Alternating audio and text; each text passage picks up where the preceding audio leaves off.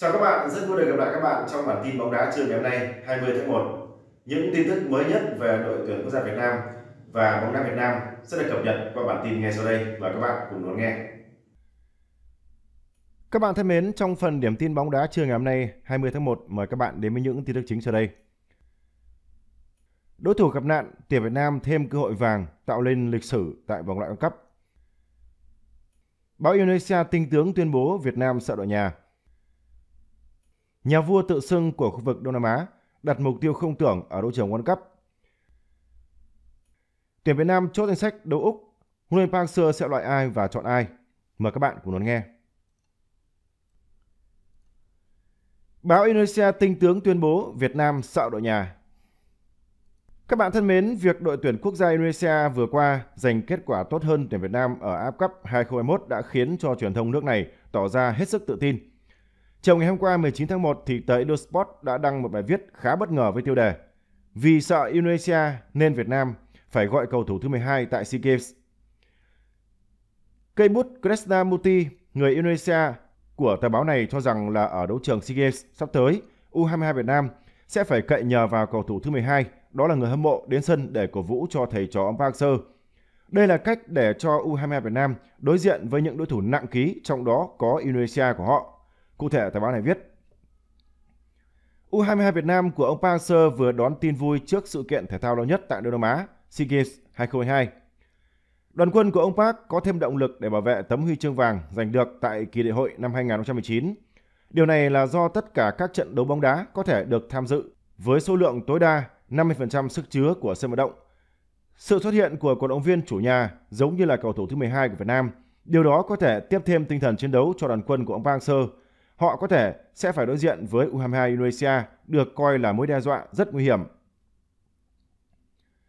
ở AF Cup vừa qua, đội tuyển quốc gia Indonesia sử dụng chủ yếu các cầu thủ thuộc lữ U22 nhưng đã cán đích bằng vị trí Á quân.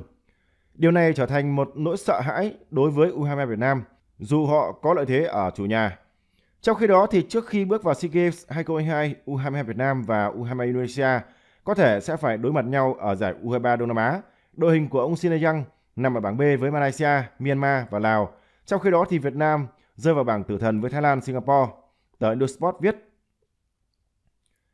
các bạn thân mến, khác với thông tin được tờ báo trên đăng tải thì phía chủ nhà Việt Nam hiện vẫn đang chuẩn bị nhiều phương án để đối phó với dịch Covid-19 trong quá trình tổ chức SEA Games 31. Tại hội nghị trưởng đoàn SEA Games 31 vừa qua, ban tổ chức lên kế hoạch rằng nếu dịch bệnh được kiểm soát tốt, khán giả với số lượng hạn chế sẽ được vào sân theo dõi SEA Games 31. Trong trường hợp dịch bệnh diễn biến phức tạp, đại hội có thể sẽ không cho khán giả đến sân. Nhà vua tự xưng của khu vực Đông Nam Á đặt mục tiêu không tưởng ở đấu trường World Cup. Quý vị và các bạn thân mến, thời gian gần đây Campuchia đang tỏ rõ quyết tâm chuyên nghiệp hóa nền bóng đá nước nhà. Campuchia vừa bổ nhiệm ông Satoshi Saito cho vị trí đứng đầu ở giải ngoại hạng. Mới đây thì vị này cho biết rằng là ông đang trong quá trình làm việc để biến Campuchia trở thành một trong những cường quốc bóng đá ở Đông Nam Á. Mục tiêu mà Campuchia đặt ra là đưa giải vô địch quốc gia trở thành giải đấu chuyên nghiệp tốt nhất tại Đông Nam Á có câu lạc bộ tham dự AFC Champions League vào năm 2025, lọt đến top 4 giải Asian Cup 2027. Đồng thời, nhà lãnh đạo nền bóng đá nước này cũng đặt ra chỉ tiêu là giành tấm vé dự vòng chung kết FIFA World Cup 2030 và huy chương vàng tại SEA Games 2023 sắp tới. Ông Satoshi Saito cũng cho biết là ông sẽ tận dụng các mối quan hệ cá nhân để thu hút các nhà đầu tư từ Nhật Bản và quốc tế đầu tư vào bóng đá Campuchia – Ngoài ra thì giải vô địch quốc gia Campuchia sẽ đổi tên thành Cambodia Premier League. Năm câu lạc bộ không đủ điều kiện tham dự cũng sẽ bị Liên đoàn bóng đá Campuchia loại khỏi giải đấu. Điều này đồng nghĩa với việc là Cambodia Premier League 2022 sẽ chỉ có sự có mặt của 8 đội bóng. Để đảm bảo số lượng trận đấu, giải vô địch quốc gia Campuchia sẽ tiến hành theo thể thức vòng tròn 3 lượt, mỗi câu lạc bộ sẽ thi đấu 21 trận. Giải vô địch U23 Đông Nam Á 2022 cũng sẽ diễn ra tại Campuchia và đây là giải đấu có sự tham dự của 11 quốc gia trong khu vực Đông Nam Á, được chia làm 3 bảng đấu, trong đó Việt Nam nằm ở bảng C với Singapore và Thái Lan. Đối thủ gặp đại nạn, tuyển Việt Nam thêm cơ hội vàng tạo nên lịch sử ở vòng loại World Cup.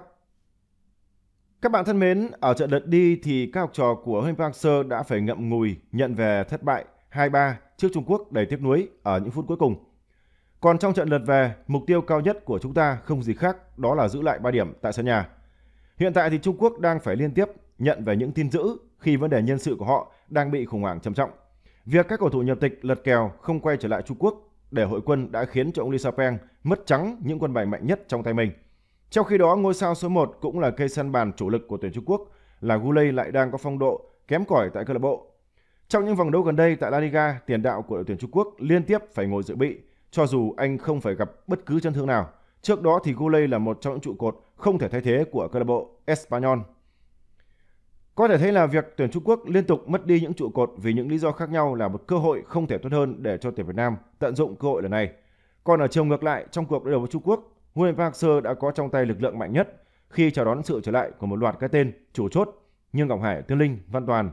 Việc Trung Quốc gặp khó khăn về lực lượng chính là cơ hội vàng để cho chúng ta trả món nợ ở trận lượt đi và tạo nên lịch sử khi có điểm số đầu tiên hoặc có thể là một chiến thắng tại vòng loại World Cup.